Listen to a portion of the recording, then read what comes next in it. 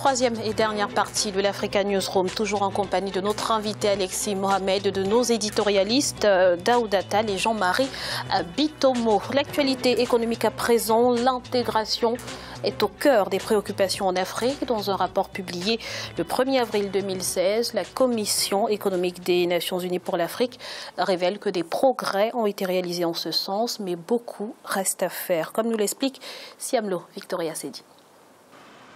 Dans un rapport publié début avril 2016, la Commission économique des Nations Unies pour l'Afrique est revenue sur le processus d'intégration régionale en Afrique. Le constat est fait, l'intégration entre les États africains n'est pas tout à fait réelle, mais elle évolue et a besoin d'être accélérée. Selon la commission dirigée par le Bissau-Guinéen Carlos Lopez, une meilleure intégration en Afrique permettra de stimuler la compétitivité et l'innovation, capable d'impulser la croissance économique du continent.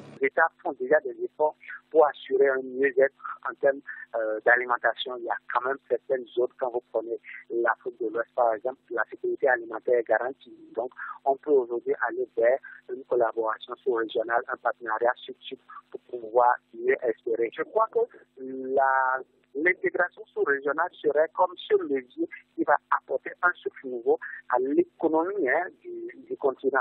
Entre 2000 et 2014, la croissance économique de l'Afrique avait atteint 4%. Pourtant, le secteur industriel reste pauvre et défavorable à des exportations importantes. Mais dans le même temps, le commerce de biens intermédiaires et de biens d'équipement s'est amélioré à hauteur de 11,2% entre 1999 et 2013, selon le rapport. Le véritable problème qui se pose à nos États en termes d'intégration, par exemple la question des visas la question des se pose encore sur le continent. Alizé Dangote a reproché cela à bon nombre de chefs d'État. Et donc, je crois que nos États vont beaucoup plus travailler sur ce, sur ce facteur déterminant-là, la libre circulation, s'il vous plaît, la libre circulation des personnes surtout, également des biens. Il faut lever les contraintes au niveau du continent.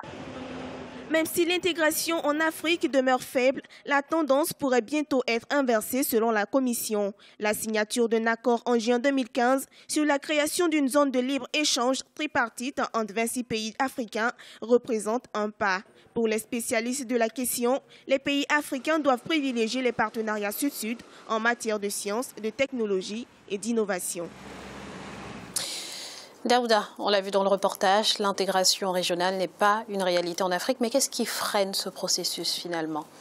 Mais ce qui freine ce processus, c'est qu'on a l'impression que chaque État veut garder sa souveraineté euh, euh, nationale et n'accepte pas de, de, lâcher du lest à ce niveau-là, puisque pour toute intégration, il faut savoir euh, déléguer, en tout cas, il faut savoir s'ouvrir aux autres.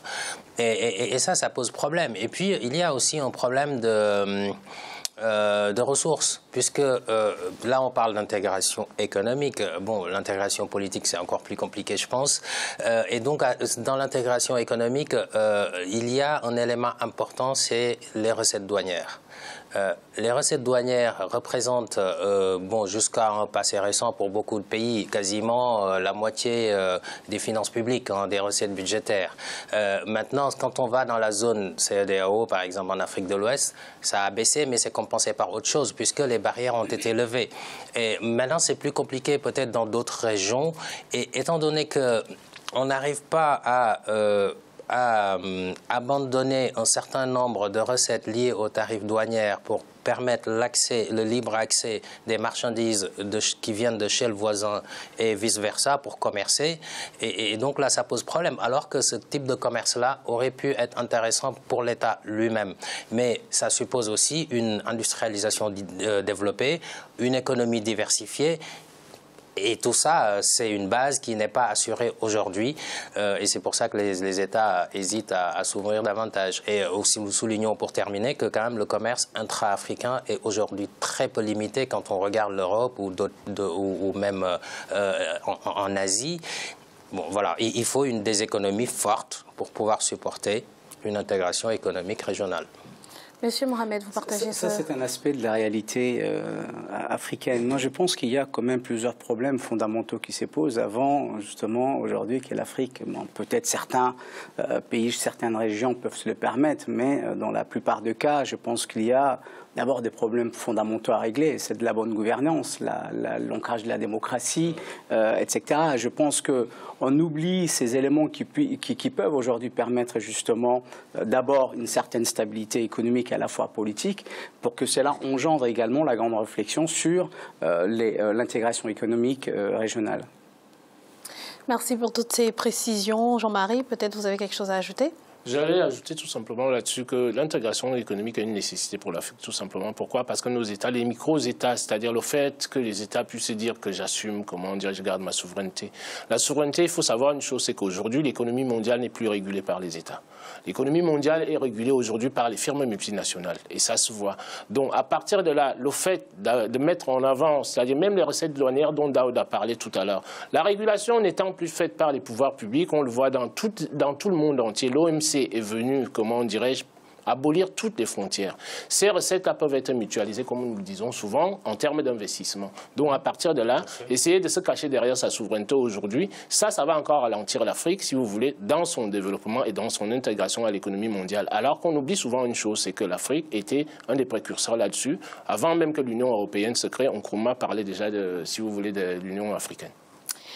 Dans l'actualité également, la finance islamique gagne du terrain en Afrique de l'Ouest, Sénégal, Nigeria ou encore Côte d'Ivoire. Les émissions de Socox se multiplient afin de financer euh, des projets d'infrastructure en vue du développement économique et social. Birama Saounera. La finance islamique s'installe en Afrique. Les produits financiers compatibles avec les préceptes de l'islam séduisent de plus en plus les pays du continent. Il s'agit du soukouk, des emprunts obligataires islamiques et autres obligations dites halal. En juin 2014, le Sénégal a lancé son premier soukouk d'une valeur de 100 milliards de francs CFA. En novembre 2015, le gouvernement ivoirien s'est lui aussi essayé aux obligations islamiques avec un soukouk de 150 milliards de francs CFA. La finance islamique bénéficie quand même euh, d'une pénétration et d'un usage de la part des gouvernements des pays subsahariens. Ce qui fait que donc c'est un financement en appoint qui va venir donc compléter les financements que ces États-là ont pu euh, obtenir euh, au niveau des groupes de Paris et de la Banque mondiale. La finance islamique présente de nombreux atouts pour l'économie africaine. Elle permet d'attirer les capitaux de plusieurs pays, notamment ceux du Golfe. Pour les experts, contrairement à la finance traditionnelle, elle exclut toute forme de spéculation. Fort de ces constats, plusieurs pays du continent s'y lancent. Tout le principe de la finance islamique repose sur le partage du risque et le renoncement au, gain démesuré, mais également la non-vente du temps.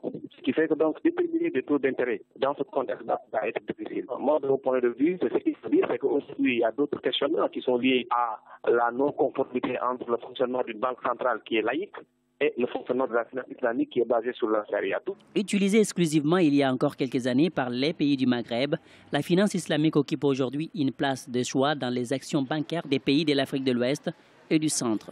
Au regard du développement de ces types de financements innovants, le Sénégal va organiser la quatrième édition du Forum international de la finance islamique en Afrique de l'Ouest les 12 et 13 mai 2016 à Dakar. Jean-Marie, la finance islamique offre de nombreux avantages, mais comment expliquer que les économies africaines, les pays africains qui euh, pourtant concentrent 50% de la population musulmane, aient mis autant de temps à adhérer à ce concept? Tout simplement pourquoi? Parce que vous avez la prégnance, comment dirais-je, du système bancaire classique. Vous savez, il n'est pas évident, si vous voulez, quand vous avez un nouveau produit, un nouveau système qui émerge, qui prenne, si vous voulez, le dessus tout de suite. Tout simplement pourquoi? Parce que jusque-là, il faut aussi se dire une chose, c'est que les pays islamiques, c'est-à-dire ceux qui ont des moyens, si je prends, si vous voulez, le Moyen-Orient, ces pays-là étaient tournés vers les économies euh, occidentales, c'est-à-dire en termes de financement. Pourquoi l'Afrique n'a pas mis autant de temps nous critiquons, toujours l'Afrique. Il faut qu'il y ait un potentiel pour l'investisseur, pour que l'investisseur vienne, si vous voulez, dans un pays, que ce soit un investissement financier, que ce soit un investissement matériel. Donc à partir de là, aujourd'hui, l'Afrique devient, si vous voulez, le continent, si vous voulez, des disons pratiquement, je dirais, des 50 années à venir. Donc il y a un potentiel, si vous voulez, de, de retour sur investissement. Aujourd'hui, l'Afrique, si vous voulez, a les banques qui génèrent le plus de profits au monde, au-dessus des banques américaines, des banques européennes, des banques asiatiques, tout ce que vous voulez. Donc l'Afrique devient quoi? C'est en ce moment que les Africains, comme je l'ai dit souvent, doivent construire, c'est-à-dire leur propre modèle, notre propre modèle, adapté tout simplement. Pourquoi? Parce que tout le monde entier a les yeux rivés sur l'Afrique aujourd'hui. Ça aurait dû être le cas il y a de cela très très longtemps, tout simplement pourquoi? Parce que c'est l'Afrique qui nourrit l'économie mondiale l'Afrique nourrissant l'économie mondiale, nous nous retrouvons dans un continent dans lequel on fournit tout à l'économie mondiale et nous sommes des populations, si vous voulez, les plus défavorisées de ce monde. Donc à partir de là, le potentiel financier, de gain financier, c'est-à-dire de retour sur investissement pour une entreprise, si je puis m'exprimer ainsi, devient tellement colossal que personne ne peut plus ignorer l'Afrique aujourd'hui. Dans les 50 euh, ou le siècle à venir, ça va être le tour de l'Afrique, si vous voulez, à être un continent qui peut dominer le monde, mais à une condition, c'est que les, Africains sachent mettre en place les stratégies déterminantes pour pouvoir exercer cette domination-là. Monsieur Mohamed Djibouti, votre pays envisage depuis quelques années de devenir la plateforme euh, de la finance islamique en Afrique. Où en êtes-vous euh, justement? Eh bien, justement, il y a, il y a même une banque euh, islamique qui, euh, qui, a été ouverte même euh, récemment, si ma mémoire est bonne, hein, parce qu'avec mes allers-retours, j'arrive plus du tout à me situer. La à situer. est déjà bien implantée tout à, fait, tout à fait. Mais je pense que, comme, comme vous, disiez, vous disiez à l'instant, c'est un potentiel que Djibouti ne laissera pas passer, parce que ça nous permettra également, d'un point de vue économique, d'avoir une certaine assurance également en termes d'investissement. Je pense que on, sera assez attentif. Je pense que le président de la République est assez sensible également dans les cadres justement de ces genres de financement. 5,6%, c'est notre chiffre du jour et il correspond à la hausse de l'activité économique au Sénégal. Daouda, qu'est-ce qui justifie cette performance? Bon, ce qui justifie cette performance, euh, c'est essentiellement la, mise en œuvre du plan Sénégal émergent. Euh, il est vrai qu'aujourd'hui, il y a une phase active de mise en œuvre de ce plan Sénégal émergent, ce qui, entraîne de grands travaux, ce qui entraîne euh, de l'urbanisation, puisqu'il y a une nouvelle ville qui, est en train d'être développée, etc. donc, cette hausse est à mettre dans le compte d'une mise en œuvre active du plan Sénégal émergent, bien entendu. Maintenant, il faut aussi que l'on ça concerne essentiellement la, hausse dont, nous parlons, ça concerne essentiellement le secteur secondaire et tertiaire, le secteur tertiaire surtout. Euh, j'ai envie de dire que euh, c'est très intéressant, c'est à saluer. En même temps, euh, moi j'attends de, voir l'impact sur le développement réel. C'est-à-dire que quand on met en œuvre un plan de développement, il y a la croissance qui bondit parce qu'il y a des travaux, parce qu'on est dans la phase de mise en œuvre. Maintenant, euh, après cette phase de, mise en œuvre active, est-ce que l'activité va ralentir ou pas, ou est-ce que les impacts vont se faire sentir auprès de la population? Voilà, là, là, il y a une question essentielle à se poser à ce niveau-là. Mais bon, c'est une bonne dynamique. Mais euh, si on enlève euh, un certain nombre de, En tout cas, cette hausse, si on enlève les éléments dus au à la mise en œuvre du plan Sénégal émergent, là on peut voir où en est l'économie réelle. Ou alors, après, euh, au fur et à mesure que, que les projets se développent, est-ce que les impacts se feront de la, du réinvestissement, de la création d'emplois, etc. Alors pour, pour l'instant, pour l'instant, les chiffres sont au vert. Jean-Marie, comment faire en sorte que cela profite justement à tous les Sénégalais, que ce soit inclusif?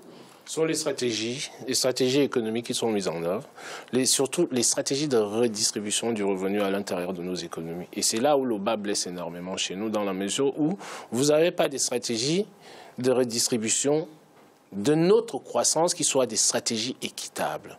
Tout simplement pourquoi? Parce qu'il n'y a pas de transparence sur le plan économique. Vous n'avez pas de transparence sur le plan politique.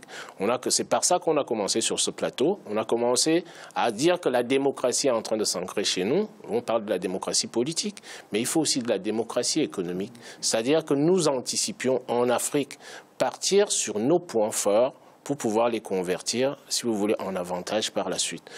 Ça veut dire quoi? Ça veut dire que on part sur des unités, des unités institutionnelles, c'est-à-dire productives, qui soient des unités, qui soient à notre mesure et que nous soyons capables de pouvoir les financer au lieu d'attendre les, financements extérieurs. Faisons ça et on voit très bien que l'Afrique va se développer tout simplement Pourquoi? Parce que nous fonctionnons en fonction de nos moyens et ça va énormément, énormément abaisser, comment dirais-je, la charge de la dette, c'est-à-dire ces dettes-là que nous contractons. Elles sont nécessaires pour tout développement. Tout État dans le monde entier qui se développe a besoin d'un certain niveau d'endettement.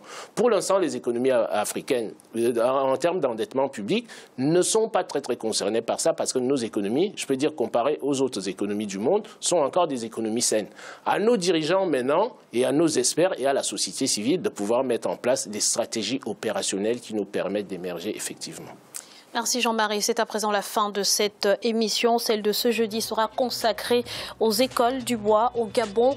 Alexis Mohamed, merci d'avoir été avec nous. Je rappelle que vous êtes euh, chargé de mission d'Ismaïl Omar Guelleh, président de la République de Djibouti. C'est moi qui vous remercie.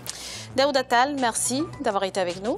Merci Grazélia. Et puis, euh, bon plaisir renouvelé et bonsoir à toutes et à tous. Et merci à vous Jean-Marie. Bonsoir Graziella, bonsoir à tout le monde. Merci à vous, chers téléspectateurs, de nous avoir suivis. À très vite dans l'Africa Newsroom.